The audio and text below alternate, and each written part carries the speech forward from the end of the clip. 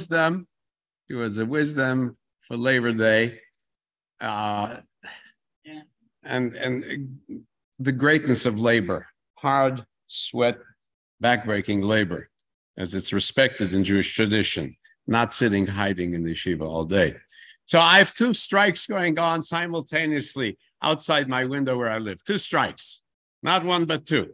So we live across one side. We see Fox Studios. So every time I go out of the driveway, I see the pickets picketing the studio the, the actors and the writers who keep us entertained and challenged. And I know they're facing a very critical time. Modern technology is upending their kind of work, just as the introduction of introduction of film, which they benefited, upended the career of live stage actors and playwrights in the years before there was film. Well, that's called um, creative destruction, uh, one of the classic uh, theories of economics, which is that you destroy something and out of it comes something greater. Well, are we going to destroy the writers and actors and come something greater? My robot will tell me. Then they are what we call the white collar workers. They're middle, upper middle class. The strikers are very polite and quiet. They just walk back and forth. And I really would expect something more dynamic and dramatic from really in the picket line, especially people who are really tra- talented and creative. That's why they're in that line, but they're just walking. On the other side of our window, I face a major hotel. And very often it's quieted down. Now, in the morning, 6 a.m., I would hear loud drums and the blare of loudspeakers and whistles and waking up everybody for at least a mile around. We want to make sure that the hotel residents knew what was happening, and I certainly knew. And they're the service workers of the hotel industry. And what I will say, it's annoying. I will say that this approach fits approach fits people who work physically very hard for the daily bread. If you have to be a cleaning lady in the hotel room and you have to change the linens on the king size mattress, that's hard work. And I will give them credit because they are the, being creative and talented in the way they're handling the strike. They're not supposedly the creative and talented. They're making it, it's interesting, the blue collar. So I don't want to disparage people who write or sit at the desk for a livelihood like I do. But then during the pandemic, it was the other people the ones who work with their hands and feet very hard, who made sure food was served to children in the school. Even the teachers had the luxury of leaving class for the safety of home, teaching long distance. But the people worked in the building making the kids fed couldn't. And the people who made sure that deliveries were made so stores could have supplies so people could buy food and necessities. Also, such, such hardworking people also bore the brunt of infectious diseases during the COVID pandemic because they tended to live in cramped houses and have to suffer the effects of being at work with other people who may bring the virus with them and bringing whatever they picked up at work through no fault of their own and taking it home. And there is the grandma and grandpa who are elderly and vulnerable. So we owe an awful lot to people who work physically to make our civilization flourish, while the rest of us, frankly, sat home, had our cafe latte, sat in on mind numbing, often unproductive Zoom meetings, as I have seen and observed and watched and sat in on. Um, and then, of course, the, the, they complain when they have to go back to the office. I know, I see it. So, in honor of people who put in a hard day of labor, honest labor, I want to show some aspects of Jewish labor laws and ideals. So, there's a compendium on Jewish law, which is available in English, summary of all Jewish civil and criminal law uh, by Menachem Elon, a Supreme Court justice. He's a rabbi professor on Jewish law, Hebrew University, Harvard Law, New York University Law. Labor law and scripture, the two fundamental principles in labor law and the scriptures. The master has to pay the servant on time and right, repeated. Not, the wage of the labor may not remain with you until the morning. It's repeated several times, right? Timely payment, timely payment. Uh, secondly, the servant's right to eat from the produce of the field he's working on. When you enter your neighbor's vineyard, you may, if you desire, eat your fill of grapes, and or in you're in the field, pluck your grapes. Right? What you as a laborer working on, you may have a small amount, a fair amount. And that doesn't mean that if you're the clerk in the store, you can take in your pocket the uh, the extra makeup that's there. But no, right? But this was the, the labor working hard. He couldn't get to 7 Eleven to get something. He's in the field. So you let him, right? So from these principles like this, we have also the principle of the Hebrew bondsman, uh, the servant, the slave. Also, out of these, we develop Jewish labor laws. So we come up with concepts like the difference between a hired servant, a wage or daily laborer, and independent contractor. Important distinction. One of principle. One is hired for a specific period. You will work from nine to five, Monday through Saturday, Monday through Sunday, Monday through Monday. That's hired labor. The contractor, you will accomplish X, Y, Z. I will pay you. You, it's on your time to do it. Um, there's a Roman distinction. I'm not going to read the Roman. Okay, the Latin. Time factor. In the hire of a servant, has effect of tying him to his work for fixed hours, during which he cannot choose not to work, whereas the independent contractor may work as and when it pleases him. That's the distinction. So according to Maharam of Rothenburg, great rabbi in the 1400s, I think. Hence, there's an element of slavery, element of slavery, not it's slavery, but the wage slave. There's something of that concept in a hired servant, while a con- contractor is not a slave except unto himself. Right? Adon Latzmo, uh, Evid Latzmo, he's, he's a slave to himself. So I go back to the people who are striking. Do they have a right to strike? Does one have a concept right to strike? Service contract is not susceptible to specific performance. A party in breach cannot be compelled to carry out this undertaking. Servant, on the other hand, cannot be compelled to work against his will. Law is that a worker may withdraw from employment even in the middle of the day, right? Don't like the job? You may quit. You have a right to quit. That's the, the right to strike. Even if the quitting would cause that irretrievable damage to the master, he cannot be compelled to work there may be a right to compensation for actual damage to property, but that's a different case. Independent contractor also actually cannot be compelled to carry out an undertaken, undertaken task, but they need an agreement to compensate if there's a damage because he pulls out. Now, some thoughts on the dignity of labor. right? What co contributed to the value of labor and dignity of labor?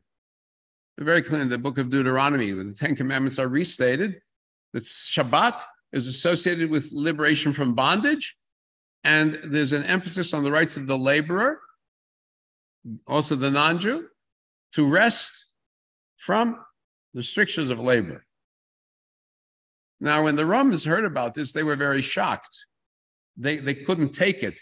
The idea that one should spend one seventh of one's life in idleness. So Tacitus, great Roman writer, said, We're told the seventh day set aside for rest because this marked the end of their toils. In course of time, the seductions of idleness made them devote every seventh year to indolence as well.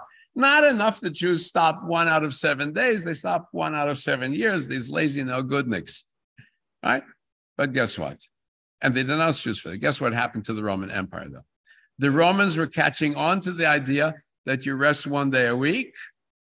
And they were beginning to accept the idea of labor and a rest from labor.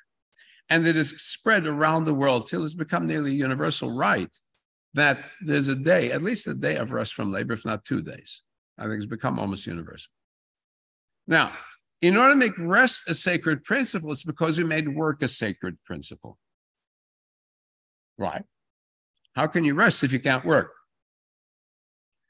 Eh, eh, there's a phrase in Hebrew, derech eretz, which means literally the way of the world. So in Yiddish, derech eretz means to be respectful. But as I say, literally it's the way of the world. And as it's used in rabbinic texts, it means to be meaningfully engaged in the world, especially through physical labor. And it's very significant as the rabbis are doing their teachings, and so it's about 2,000 to 1500 years ago, Jewish society is transitioning from farm and labor society to mercantile and intellectual elite society. So in biblical society, the landed gentry had to be reminded of their obligations to the lower classes. But now those who work with their minds had to be reminded of their obligations to, to those who worked with their hands. So Derech Eretz, according to the Midrash, is God's great blessing to Adam when he's expelled from the Garden of Eden. Adam looks at what has happened. He's been kicked out of the Garden of Eden where everything was there to eat. And he says, Shall I eat the weeds like the animals? God answers him, By the sweat of your brow, you're going to eat bread, which sounds like a curse. The rabbis, no, no, by the sweat of your brow, you will support yourself. You are undignified by this. You are elevated by the fact that you can now support yourself and turn the weed into a challah. It's the human capacity to work that enhances God's creation. So, what can we say for the scholar who wishes to remain in the ivy, ivory tower of the yeshiva? Great is Talmud Torah, study of Torah, combined with Derech Eretz, as the two together lead to the abandonment of sin. Right? If you want to be honest and honorable, you study and you work. All Talmud Torah not combined with work will in the end be nullified and lead to sin.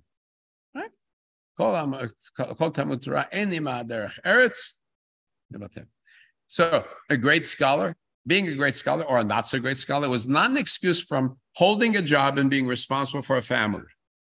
What goes on today in Haredi populations in Israel support themselves by political extortion, female labor, I hate to say it, avoidance of military service is not backed by this say, statement. The great uh, scholar Hillel came to the land of Israel he came to the academy, he did not say, Let me in because I want to study Torah, so I should come for free. He did not. He worked what he could to pay the price for admission. When he couldn't, uh, he eavesdrops in and froze himself nearly to death. And that's when they let him in the academy. And so he was willing to do that. All right? It should not come easy. It should not come easy. We also taught him Pirkei Avot. Snot the Malacha. Uh, uh, Hevet Malacha, Snot Rabbanut love labor and hate mastery over others. So this rabbi said, what does it mean love labor, love work? A person should love work and not hate work. Just as the Torah was given through a covenant, Brit, so labor, work was given through a covenant. For it says, six days you shall labor, you shall labor and do all of your work. And on the seventh day is the Sabbath to your God. So the six days of work is part of the requirement in addition to the seventh day of rest. It's a covenant. That too is a covenant. Uh, in other words, to work in productive labor six days is as much divine command as rest on the Sabbath. What about the great rabbis, the great leaders themselves? So Rabbi Yehuda used to go to the Beit Midrash carrying a pitcher on his shoulders, and he would say, Great is work as it gives honor to the one who does it. Rabbi Shimon would carry a basket on his shoulder and say, Great is work as it gives honor to the one who does it. Yeah. So the Orthodox work the Haredim uh, make their own Torah for themselves. Who says that they're the Orthodox? Ah, that's it. They, they, they make uh, Machzich Shabbos for himself. He does his own Shabbos by himself. He thinks that's the greatest thing on earth. Uh, ben Gurion gave the exemption in 1948 for the uh, few, there were maybe 200 students altogether that had survived the Holocaust and the rabbi said, look, this is all that's left. Recognize that this is the great tradition of the Jews. Says, oh, 200, we need to spare some because this is part of our great cultural heritage, our great religious civilization heritage. Then he discovered there wasn't 200, it was 2,000, 20, whatever. And he complained that he had been tricked. Right, this exemption. But you know, once you have an exemption, it stays. Um, unfortunately, the political situation is such that a handful have a stranglehold on the government. They don't want Supreme Court or anything like that. They want to protect their interests. Yeah.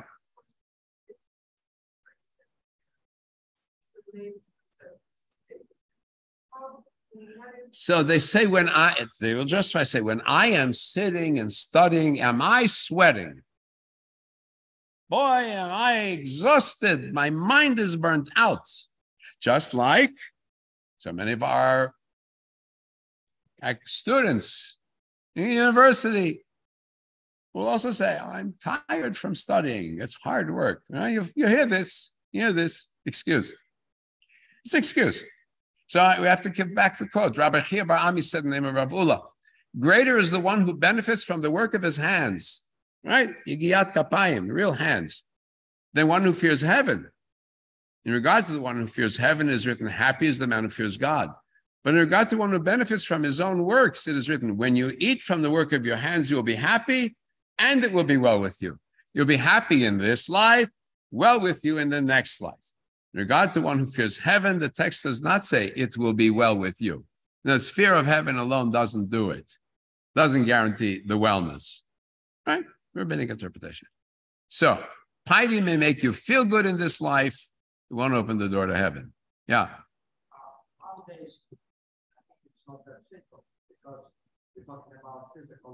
Yeah. So right away don't work but have an income, just about having an income. Uh, some of the way not work when you have an income, but this is also investment.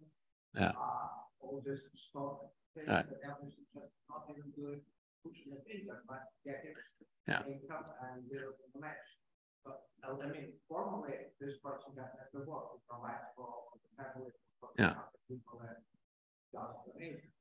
But, uh, compared to the physical labor, it's not so Yeah. So And that's a Yeah. later, because we provide, so. So the truth is, yeah, in an economy that we have, given the nature of the economy, we can't engage everybody in physical labor, just as we can't engage everybody in mental labor. Right. So we have a distribution of labor. Yeah, we have a distribution of labor. But what the rabbis are getting at, so many of them are upper class. And they're saying we need to appreciate and honor people who are really struggling to make our lives possible. That's and I think that's what they're getting at. What they don't want is a situation where everybody's just clipping coupons or with a handout on the street. When I it, it hurts me when I I see somebody who looks young and healthy asking for a dollar. When we're not, we're in a position, we're in a period of high employment, high employment, not high unemployment. Huh? Doesn't need much qualifications. Get a paintbrush. Okay. Age is okay. So age, but I'm looking at a young guy and and who has nothing. You're overqualified. You're highly qualified. But if the young guy, if he has no other training, you go get a paintbrush. We're going to housing, housing, whatever. There are jobs, right? So this is a fear rabbis have. Yeah. Rabbi, I grew up on a kibbutz.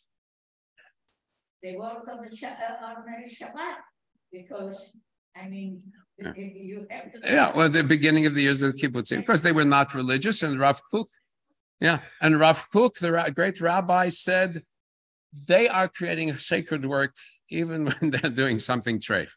So, talk about the kibbutz. My that's where I'm going to get my next point.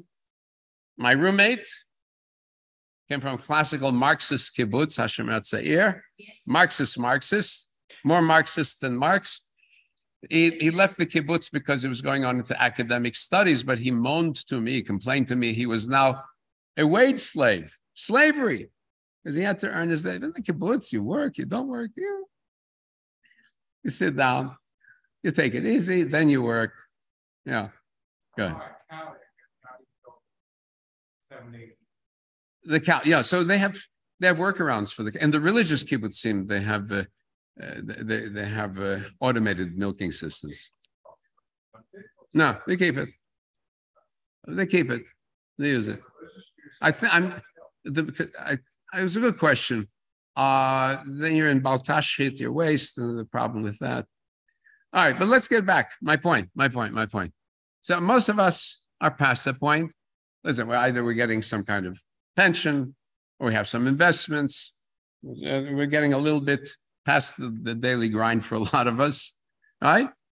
So still we need to pause and reflect how much we depend on the labor of those who are struggling for their daily bread.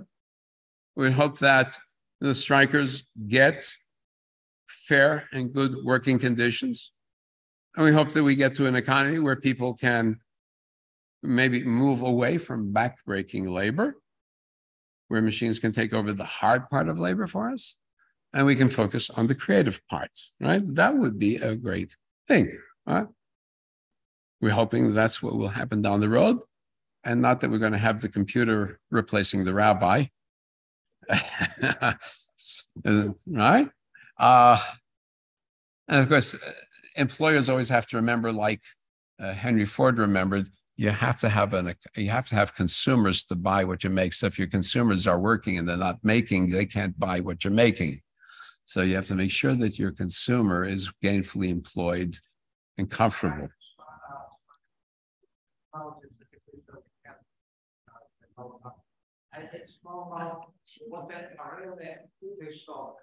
And it's small amount, what that are really they start. Those for all studios and all those operators and directors, it's so disproportional. The they have high wages, absolutely right, and great and everybody. But then, I mean, you know, we have this in the day. I mean, equal, in equal, the distribution of, of, uh, wealth. For those who own studios and people together, it's categorized over time. Yeah. And then they- they- there's a of right force of- Yeah. Look, that's, that's, there's always going to be that contradiction in a capitalist society. You're always going to have the one who has the capital and the one who makes the capital possible. So that's where unions have their function. Unions are not necessarily unions, you have political pressure to guarantee in this way laws are written to protect their interests and so on. Um, but no, but I think there also there there are other issues also because the entire nature of the film and TV industry is undergoing a rapid shift, paradigm shift. And now, how do you track who's getting paid for what because of streaming? These, these are their big fears. Or that they would be, you know, one image of an actor would be replicated ad infinitum. You pay him $5 an hour for the one image. And then, so those are those are some of the key issues, some of the very key issues. They're difficult issues. They're difficult issues.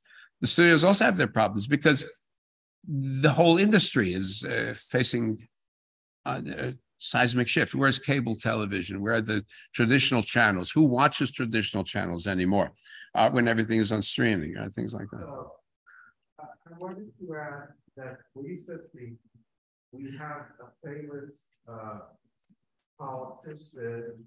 And, and we would, uh, other people are using his image to profit off of it with like buck shops and t-shirts. And, uh, because, uh, he can sue them because it, he doesn't own the intellectual property. Yeah, yeah. The state of Georgia. Oh, is instead of they're using a politician. Yeah. And, and, and then, and then we have a mugshot of a past president that is very profitable to the past president. Because, but himself, he's making the money. Okay, what can I say? All right, to everybody, have a enjoyable, uh, happy Labor Day, and thank God to people who kept LA and kept the country open with Zeat the sweat of their brows. And we have to appreciate them. Shabbat Shalom to everybody.